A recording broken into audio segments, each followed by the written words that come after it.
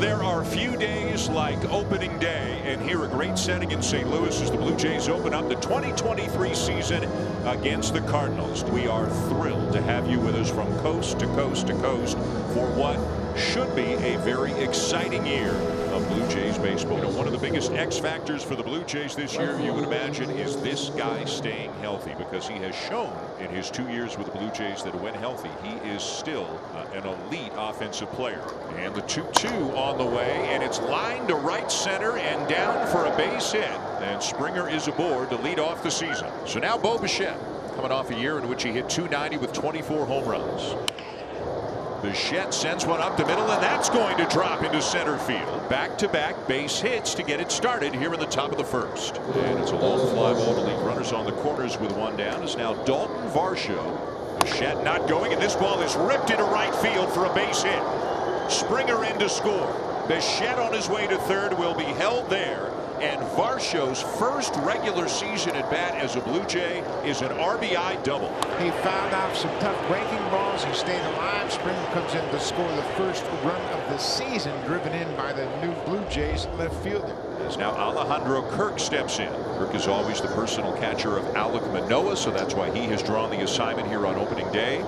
A soft liner into center for a base hit. Bichette and Varsho in to score, and it is three to nothing.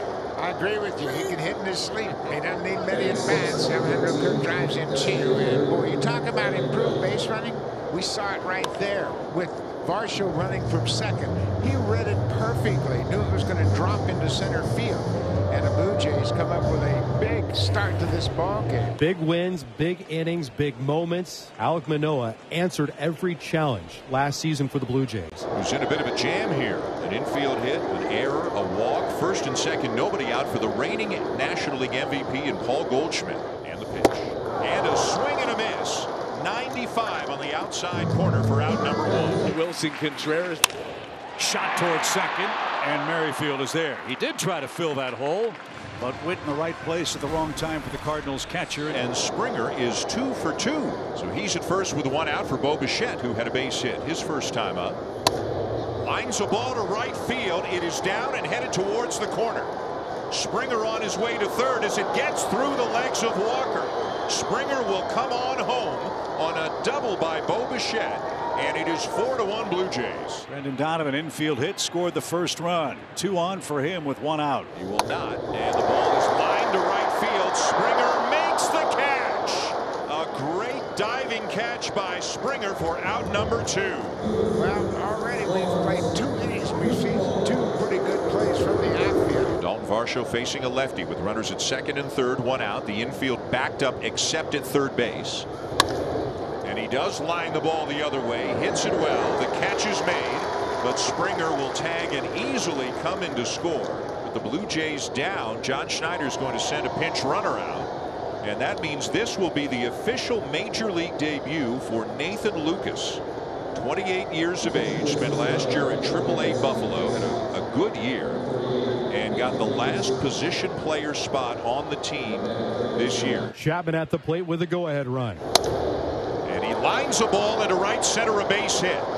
Lukes around third and will score with ease as Chapman drives in the tying run. Well, how about that? And Matt Chapman says my goal is to hit the ball the other way. Uh, he comes through big time here in the seventh inning. How about Nathan Lukes in his first big league games and scores the tying run? And that one will bounce off Contreras and way up the first baseline. And I think Contreras is a little bit shaken up. I don't know if it got him on the toe. But that hit him very, very hard on that shin guard. Now Guerrero with a great opportunity here. Second and third. Nobody out. And he dumps one into right field for a base hit.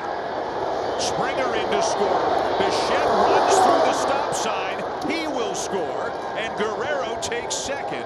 It is 8-7 Blue Jays. Well, they caught that. Luis Rivera certainly had the stop sign up. Bo ran right through the stop sign, and Guerrero is credited with two RBIs. 18 hits now, and here's George Springer, who's got four of them, four singles, and he has scored four times.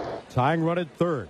Go ahead on at first. And this one to shallow left center, and dropping into score is Merrifield. Kiermaier all the way around to to third. Another blue pit for George Springer, who is now five for six in this game.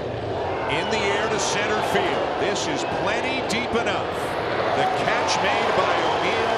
Here comes Kiermaier, and the Blue Jays have taken the lead. Lars Nootbaar with Paul Goldschmidt now out of the on-deck circle to face Jordan Romano. And he got it. Jordan Romano strikes him out and retires the Cardinals in order and the Blue Jays win this wild game on opening day by a score of 10 to 9.